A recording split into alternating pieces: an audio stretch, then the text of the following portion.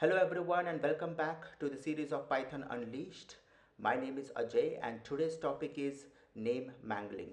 Name mangling is basically a technique by which we can resolve the object variable naming conflicts in classes and subclasses. What is what does this exactly mean is suppose we have a base class and into that base class we have an object variable name and then we use the same object variable name into the derived class also in such a case, there is a conflict between two object variable names. So to overcome this issue, we have a technique known as name mangling. So how to do that? Let us just start uh, with Python. Now this was the tutorial. This was a particular program that I have taken in my previous tutorial where we have learned about multiple inheritance. So you can just see this. I will just uh, revisit this program and uh, let's take a summary. This was a class that was student and then you can see these are the object variable names and the member functions. And then there was a class with the name teacher okay? So these were the these were the two classes and these two classes are independent classes. But then we have a third class with the name that is classroom.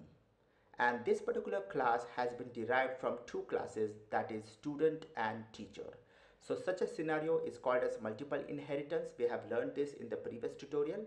And then we also learned about how to override the member function of the base classes. Like uh, you can see all the member functions have the same name that is enter and display for the class student.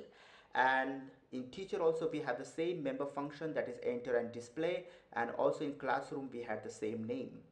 We have learned this how to override this, these uh, uh, the member functions and also once we override the member functions how to actually evoke the functions of the uh, base classes.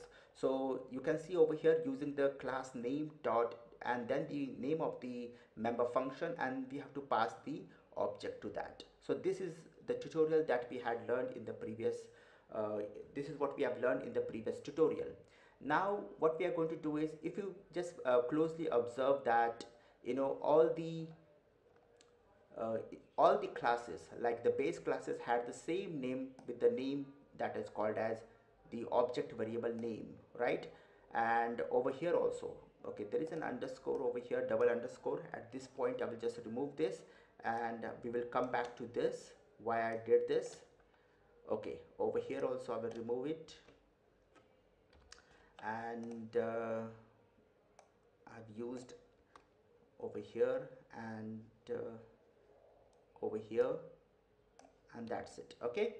So if you see this class uh, we had used the same object variable name that is name. So this will basically refer the student student name and this will refer to the teacher name and this will refer to the classroom name.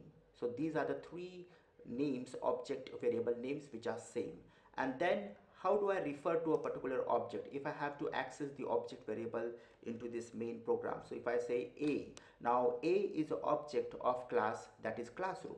So if I say a dot name if I say a dot name and if I give some name like xyz so this will basically refer to its own object variable that is name out here right? If I use the name dot a dot name. So it will basically refer to its own object variable name that is name.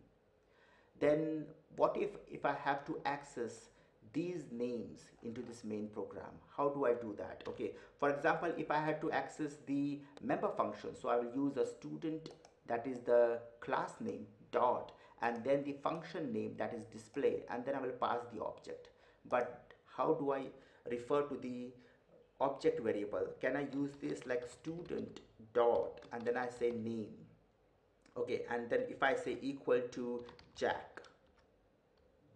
Okay so this cannot be used because uh, this particular thing will create a class variable and not the object variable. If I say student dot name but nowhere I'm referring to this object. I want that this object dot student name should be jack that is the A object should hold uh, the student name that is Jack. But if I use this class dot name, this will basically create a class object, a new class object. So the object variable this will create a new class variable I mean to say. So student dot name will basically create a new class variable name and not the object variable name. Understand this because nowhere I am referring to this object over here.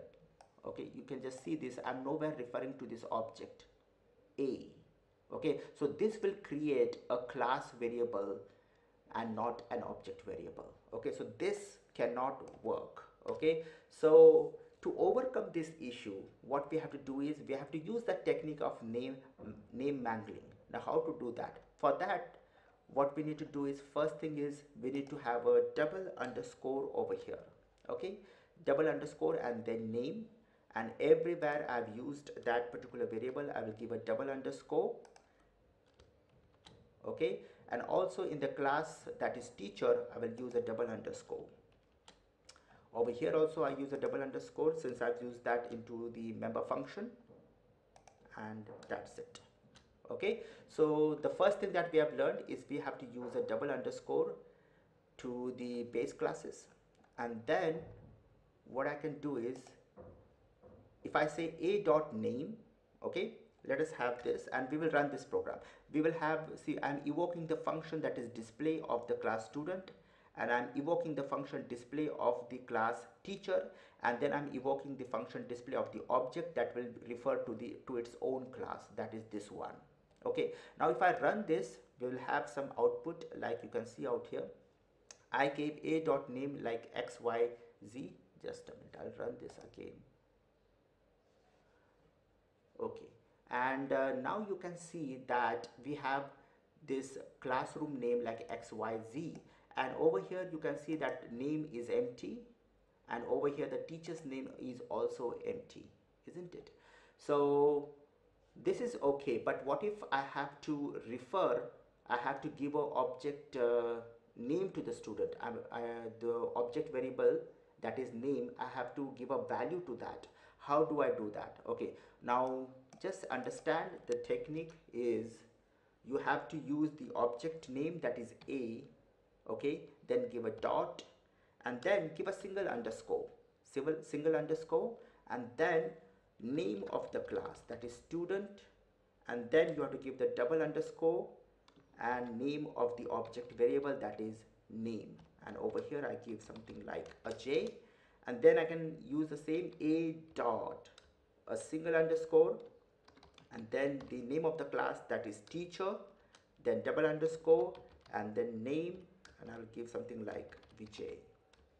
Okay so name of the student is Ajay name of the student will be Vijay and name of the classroom that was XYZ now if I run this okay you can see now we have the name of the object that is uh, the object variable the name of the teach uh, name of the student is Ajay name of the teacher is Vijay and name of the classroom is XYZ okay so this is the technique how you can uh, refer to the object variables. The first thing is that you need to understand that we have to give a double underscore.